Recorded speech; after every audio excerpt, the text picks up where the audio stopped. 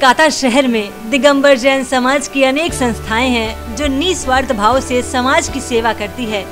पर एक ऐसी संस्था है जो पिछले नवासी साल से न केवल जन साधारण बल्कि साधु संतों की सेवा भी करती है और उस संस्था का नाम है श्री दिगंबर जैन दातत्व औषधालय। चितपुर स्थित जैन भवन में संचालित इस संस्था के कार्यालय तथा चिकित्सा केंद्र का नवीनीकरण हुआ। जिसका उद्घाटन 15 अगस्त 2022 को हुआ। साल 1933 में दिगंबर जैन समाज के सात समाज सेवियों ने इस संस्था की नींव रखी। साहू श्री शांति प्रसाद जी जैन, श्री मिश्री लाल जी जैन काला, श्री गजराज जी गंगवाल, श्री नागर मल जी जैन, श्री रतन लाल जी झांझरी, श्री नंदलाल जी सरावगी और श्री नथमल जी सेठी के अथक प्रयास से इस संस्था की शुरुआत हुई, जो आज नवासी साल के बाद भी अनवरत लोगों को सेवाएँ दे रही है।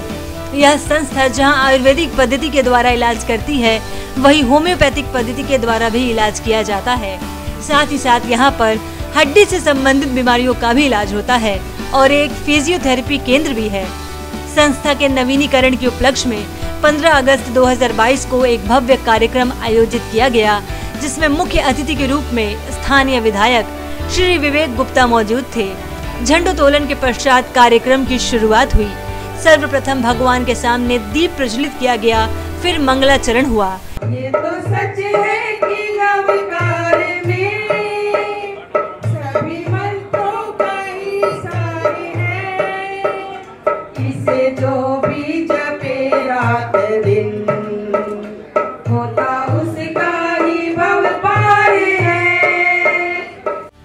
भव्य कार्यक्रम में मुख्य वक्ता के रूप में प्रसिद्ध समाज सेवी श्री रमेश जी सरावगी मौजूद थे। आज भी गवर्नमेंट ऑफ़ इंडिया के वेबसाइट पर ऑल्टरनेट मेडिसिन के रूप में इसको कह रहे हैं। ऑल्टरनेट मेडिसिन आयुर्वेद नहीं है प्राइम मेडिसिन है आयुर्वेद और हम इसको भूल रहे हैं। भव्य कार्यक्रम के द्वारा संस्था के नवीनीकरण में आर्थिक सहयोग देने वाले व्यक्तियों को सम्मानित किया गया।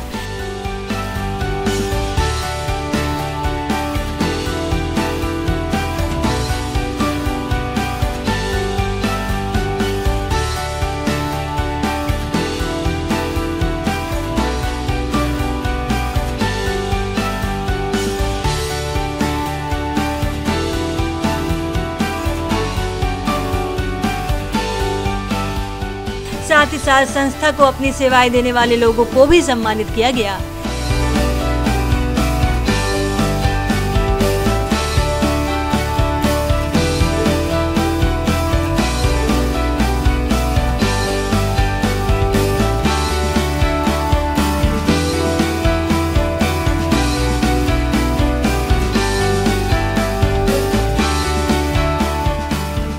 गरिमामय पूर्ण कार्यक्रम में काफ़ी बड़ी संख्या में समाज की महिला और पुरुषों ने भाग लिया। भारी बरसात होने के बावजूद भी सभागार खचाखच भरा हुआ था और भीड़ होना तो लाजमी था क्योंकि एक परोपकारिक संस्था के नवासी साल पूरे जो हुए थे। एक तरफ़ जहाँ चैरिटी से चलने वाली संस्थाएँ काफ़ी परेशानियों का सामना करती हैं, वहीं श्री दिगंबर जैन दातत्व औषधालय पिछले नवासी साल से साधु संत और आम जनों की निशुल्क सेवा कर रहा है। कार्यक्रम के पश्चात भव्य नवीनीकृत केंद्र का उद्घाटन कोलकाता के प्रसिद्ध समाज सेवी श्री निर्मल जी पुष्पा जी बिंदायका के हाथों हुआ। बागचंद जी भाई साहब से वो ये आग्रह करूँगा कि वैद्य जी का हर जैन मंदिर में, अपने जैन समाज में महीना में एक दिन एक दिन का, एक घंटे का या दो घंटे का समय दिया जाए, जिससे हम लोग वापस आयुर्वेद से जुड़े। संस्था के महासचिव श्री भागचंद जी कालाजे के मसाले के अथक प्रयास से एवं अध्यक्ष श्री राजकुमार जी सेठी और अन्य कई सदस्यों के सहयोग से संस्था का नव निर्मित और वर्तमान स्वरूप आज समाज के सामने है, जिसका लाभ जन साधारण के साथ साथ साधु संतों को भी मिलता रहेगा। मुझे खुशी है कि समाज के गड़ी सभी गणमा, गणमान्य व्यक्ति व्यक्ति आज इस कार्यक्रम में उपस्थित रहे।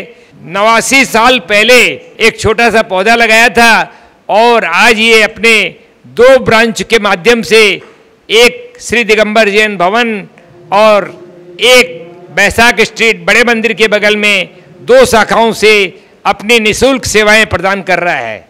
अभी हमारे महामंत्री श्री भागचंद जी साहब खाला जी ने औषधालय के बारे में कुछ बताए अब मैं अध्यक्ष श्री राजकुमार जी सेठी साहब से निवेदन करूँगा कि औषधालय के बारे में कुछ हम, सबको जनाएँ और समाज को भी अवगत कराएँ।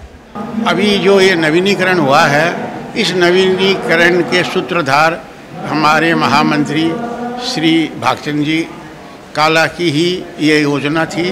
समाज के तेईस दानदातारों ने इसमें सहयोग दिया और इस कार्य को पूरा करने में हमें ढाई बरस से ज़्यादा समय लगा।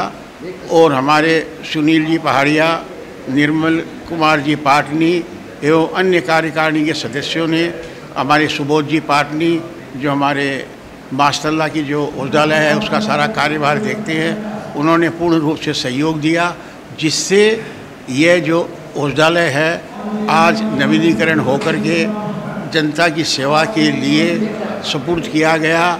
आज हमारे देश में पचहत्तर स्वाधीनता दिवस मनाया जा रहा। है इस उपलक्ष्य में जैन समाज की तरफ़ से आज दिगंबर जैन भवन में जो दातव्य औषधालय का नवीकरण हमारे प्रिय निर्मल जी पुष्पा विनायक के द्वारा ओपनिंग हुआ। मैं पूरी जैन समाज की तरफ़ से उनको धन्यवाद देता हूँ। हमारे प्रेसिडेंट राजकुमार जी सेठी सेक्रेटरी भागचंद जी काला और भी जो भी हमारे कमेटी के सदस्य है कोषाध्यक्ष निर्मल जी पाटनी है सागर जैन है सुनील जैन पहाड़िया को भी धन्यवाद देता हूँ।